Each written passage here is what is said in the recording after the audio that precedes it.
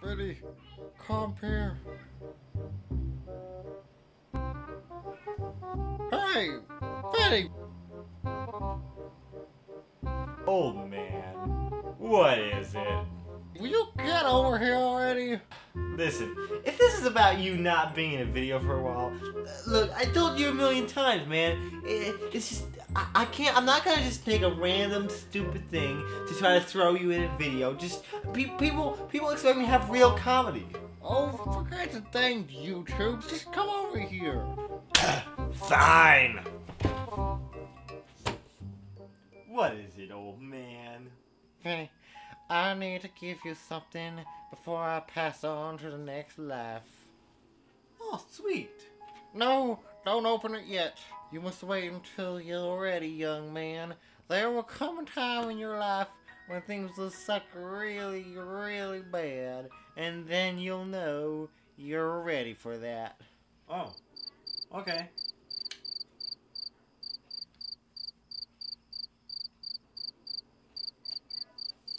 Okay, I think that my life's about 10% worse now, so I think I'm ready. Wait, not yet.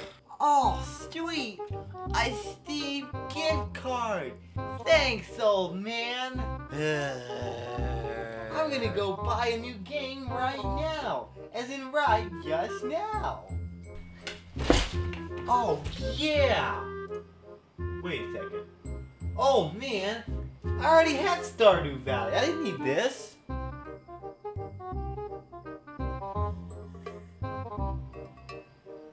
Old man? Old man?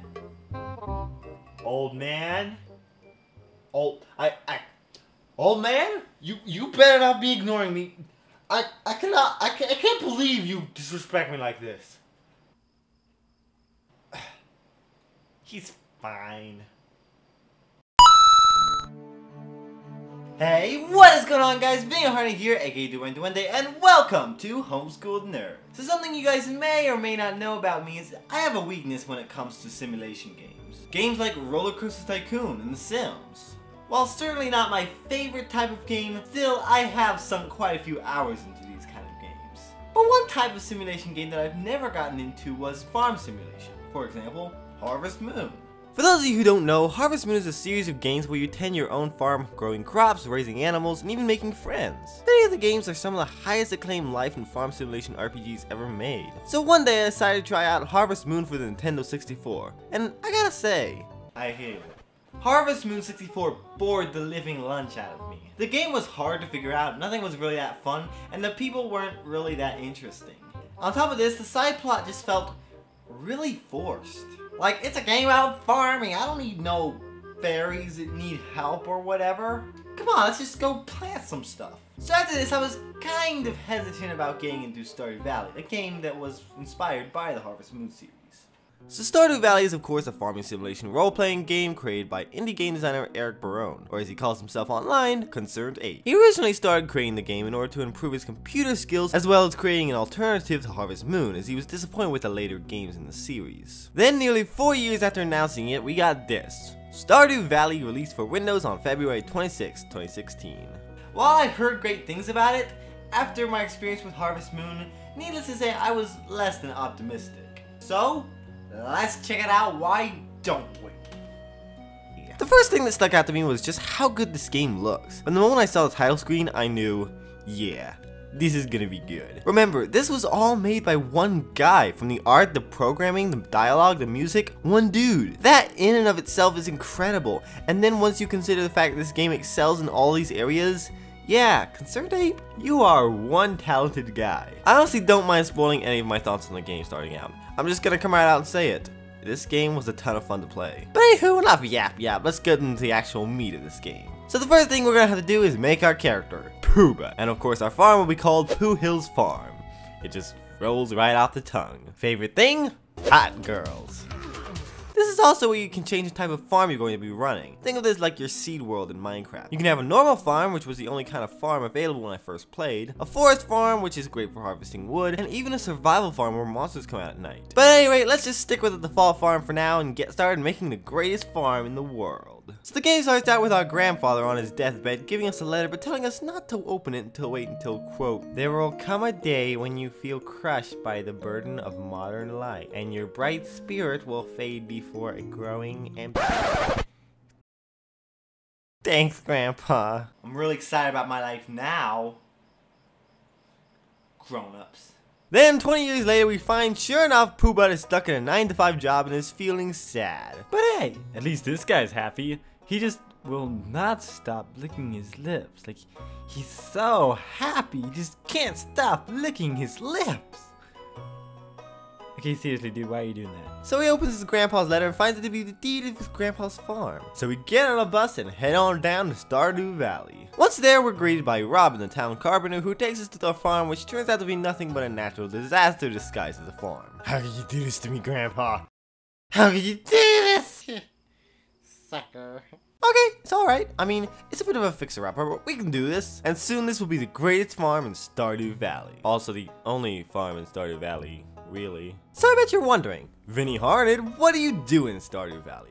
Well, fellow nerds and nerdesses, you farm. Starting out, the mayor gives you some seeds to start you out on your garden. Different crops cost different amounts for the seeds and are sold for different amounts once they're ready to harvest. My favorite crop by far is fruit trees, as they take very little work, which is important since you only have so much energy every day, and produce the highest yielding crop. But making money is by no means limited to farming. You can also forage for wild berries and whatnot, cut down trees and sell the wood, go fishing, and even go mining in the cave for copper, steel, and other stuff. I personally think that's one of the biggest selling points for Stardew Valley. There's so much to do in the game to keep you busy for multiple playthroughs. If you're tired of farming, you can go foraging or mining or just spend a day fishing. And of course, we can't forget my favorite part of the game, your social life. Stardew Valley is a super cool community of characters who you can get to know better by talking to them and giving gifts. As easy as it sounds though, giving people gifts is actually pretty difficult to do as you have to try to figure out each person's taste and what they like. You can figure this out by trial and error or wait for someone to send you a letter asking for something, or you can just look it up on the internet, because that's always a thing. You know, sometimes I wish you could do that for people in real life too. Joe,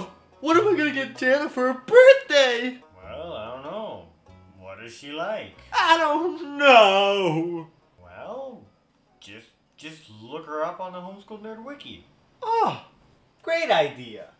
On top of this, there are a ton of people to meet in town. Some of my favorites being Sebastian because he's into computers just like me, and Robin who's really nice, although probably just because she wants me to buy House of Grays and farm buildings. You better not be brown nosing me, Robin. Each of the characters have their own personality and schedule they adhere to throughout the day, even changing through different seasons. You got shopkeepers, a blacksmith, a dude at this library slash museum, the local school teacher, and tons of others. As you grow closer to people, you can trigger different events, which is pretty cool, but the coolest part is of course getting in with the ladies. Obviously, having never been a big fan of farm simulation games, the farming wasn't super appealing to me. But what was fun was talking to people and trying to make friends. Because that's totally a thing I do in real life too. So it's it's the same thing, right? And most importantly, getting a girlfriend. Because what else is life about? So Stardew Valley has multiple bachelors and bachelorettes who you can date and even marry eventually. Each character is unique and generally speaking pretty interesting. You got characters like Abigail who's a shopkeeper's daughter and owns a Super Nintendo so that's definitely a selling point. Or there's Penny who's a local school teacher who works with the kids while her mom drinks her money away. But my favorite girl by far is Haley. The girl of my dreams. Yay. The moment I saw Haley I knew this was one for me. Mostly cause, you know, blonde. Well, to be fair, Haley isn't the most thoughtful girl in Stardew Valley. She's generally pretty lazy and spends most of her time, if she's not ignoring you, busy with photography or into clothes and fashion and makeup and all that stuff girls do.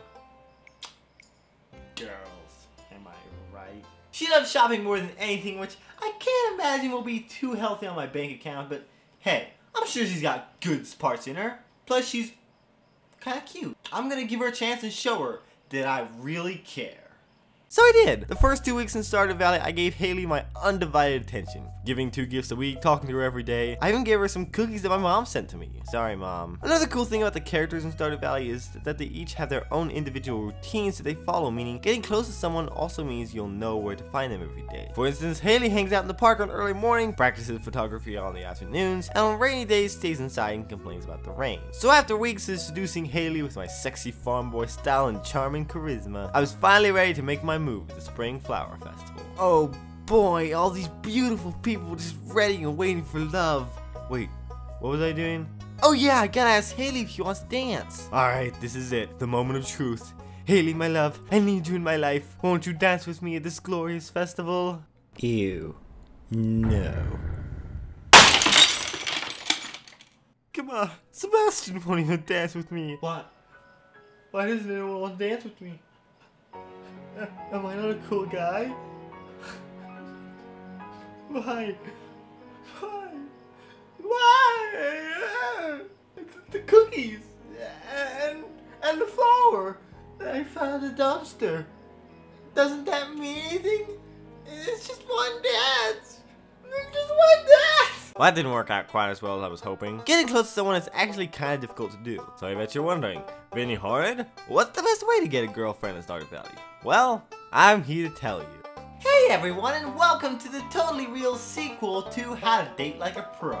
Step 1. Follow her around everywhere to get to know her routine. Don't worry, she totally doesn't mind. Sometimes she doesn't even see you, which I'm kind of upset about. Step 2. Give gifts. Most girls love flowers, but some prefer food, especially if their mom spends all their money on beer. Step 3. When you're close enough, buy the bouquet from the shop and give it to the girl to signify your relationship and move on to the next level. Yeah, I'm pretty sure that's how it's done. Once you get at least two hearts with someone, you can enter their room and snoop around like the creeper we all know you to be. Alright, let's see what Marnie's got in her room. Wait, what? Oh, so that's where the mayor's purple shorts he asked me to retrieve were. It all makes sense now. Admit it, we're all thinking the same thing right now. Okay, Mr. Mayor, I won't tell anyone, but I'll be watching you. Oh man, I've been spending so much time chasing Haley around, I forgot to work on my farm. You see, it's funny because in this game you're supposed to spend most of your time farming, but I spend most of my time socializing because I'm so into girls. Never mind, it's dumb. So needless to say, task management is pretty important in the game. It was actually something I struggled with quite a bit at the beginning, mostly because it was so huge. With everything there is to do, it's hard to do everything the game has to offer. One super cool aspect is that everything you do is sort of linked together. For instance, when farming, one of the necessities is to water your plants once a day. But if you go mining and find copper, you can actually make sprinklers to do it for you. As the first year in Stardew Valley, my farm was slowly coming together. I was even able to upgrade the house as well as build a barn and chicken coop to start my family. Got a couple chickens, McDuck, Bluke, oh and also Haley and I got together. It was a really romantic moment. We hung out at the neighboring farm, played with the cows, got all muddy, so that was nice. So that's Stardew Valley. It's an awesome game, and I definitely recommend checking it out. Everything from the graphics, the music, the characters, is awesome. It's so well designed that you don't care how many hours it takes to build up your farm because of how nice everything looks and feels. So if you're looking for a unique farm and life simulation experience thing, I definitely recommend checking this out. It's really cool, and I like it. Thanks, old man. Old, old man? Old, old man? Oh, no, no, old man! No! Old man! Old man! No! No! Old man! Ah! Darn kids.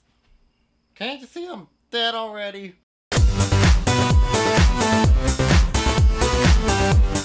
Hey guys, check out some of my other videos and subscribe.